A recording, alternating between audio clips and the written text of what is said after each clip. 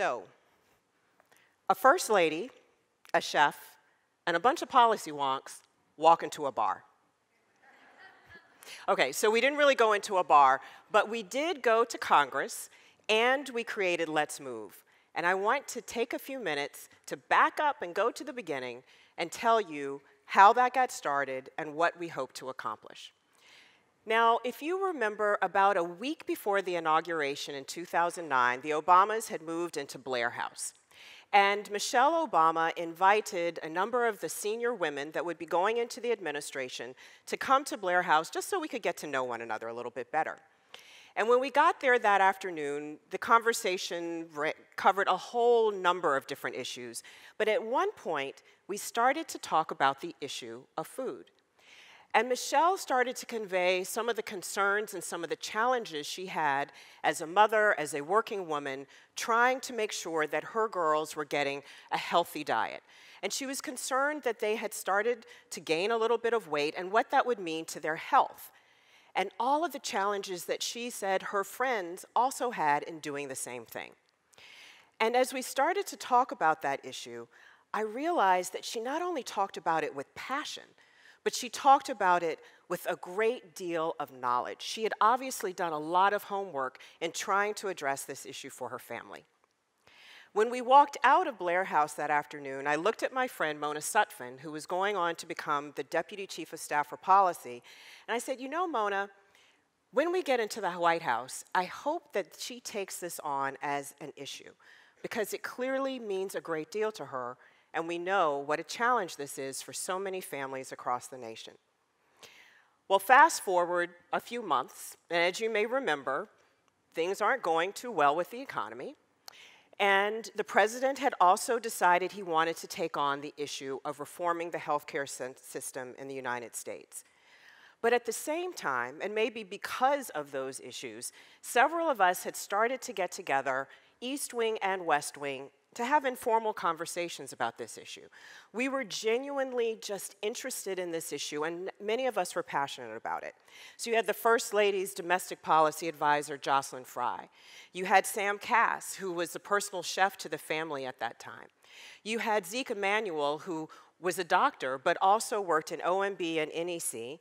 My deputy, Heather Higginbottom, Kathleen Merrigan from the Department of Agriculture, some of her colleagues, we really just started to have conversations and ask ourselves, what is it that the federal government could do about this issue?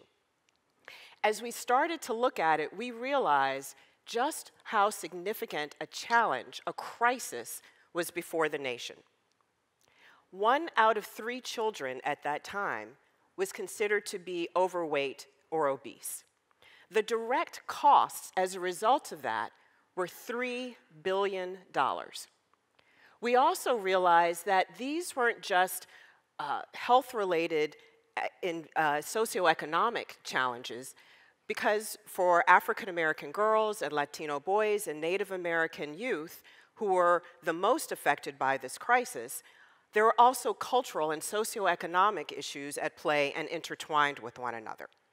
We also realized that about a quarter of 17 to 24 year olds were not fit, literally, to go into the military. We also started to understand the fact that obese children often become obese adults.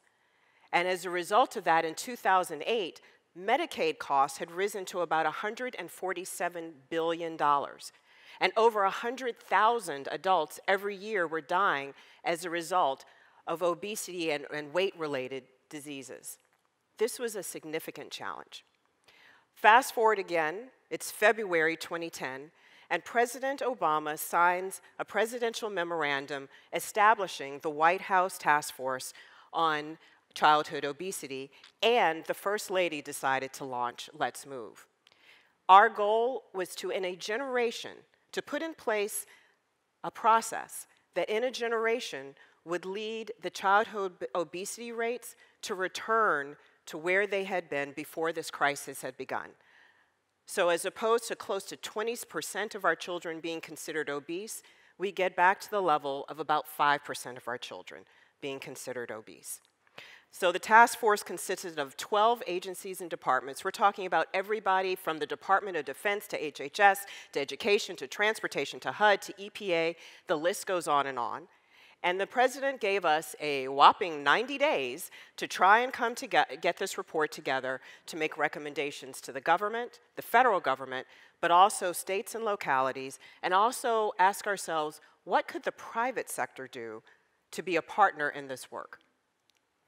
Let's Move was the First Lady's focus, her megaphone on this issue. Because as you remember, First Ladies had delved into policy issues in the past, and it hadn't always gone so well. Um, in fact, we, First Ladies had received significant blowback when they decided to step into that pond. So we wanted to learn some lessons from that in doing this. First, she established the White House Garden, which now seems to be just a normal part of American life, but then it was something new. You're going to take part of those 18 acres and turn them into a vegetable garden? Well, absolutely. And I can tell you that school children from all over DC would come and they would plant things in that garden. And they'd come back and they'd weed the garden and they'd harvest in the garden. And some of us, and I won't name any names, Sam Kass and I, would sometimes stand in the back of the room with these kids and we'd get teary eyed because you'd hear them talking about, oh, I planted the seed, and then I learned that if I nurtured the seed, something beautiful would grow. And then I realized that the same thing could happen in my community if we take care of each other. I mean, these kids were not only learning health lessons, but they were learning life lessons. And then later on, to watch them dig into a bowl of cauliflower that they had grown and harvested, and they were just shoving this raw cauliflower in their mouths. We're talking about school kids liking cauliflower. So they were learning something from that. And then we established the Partnership for Healthier America, which was our effort to support a nonprofit organization outside of government that would outlast the Obama administration and would encourage and follow the commitments being made by the private sector. Commitments like that being made by Walmart. Some people pushed back on that and said, oh, you know, you're lining up with corporate interests. Well, absolutely, we were lining up with some corporate interests. If, in fact, they did the kinds of things that Walmart did, which was pledge that they were going to lower the amount of salts and sugars and trans fats in the food sold in their stores, and they were also going to work with their supplier chain to do the same. When market makers like that get involved, the ripple effects are significant. And again, that outlasts, outlasts a presidential administration and it can outlast policy, which unfortunately can be changed. We also realized that policy, however, was an important lever that we were going to have to flip. And that led us to the Healthy and Hunger Free Kids Act that we passed eventually, working very closely with Congress. So, those hours when you can't be with your kids, when they're at school, it would mean that they were going to have greater access to healthy, nutritious meals, but also the nutrition standards were going to change for those meals. So they were getting more fresh vegetables and fruits and grains.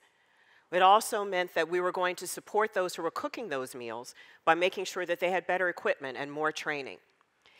Ultimately, what we were trying to do was to work with the private sector, to work with the public sector, and to do that at the federal and state and local level so that we could start to shift behavior, start to shift the way people perceive this issue, to empower people.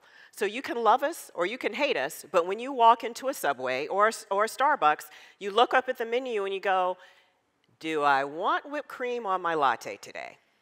You may decide that you do, that's your decision, but you also may decide, Well, I had whipped cream yesterday, so tomorrow I'm not going to do that.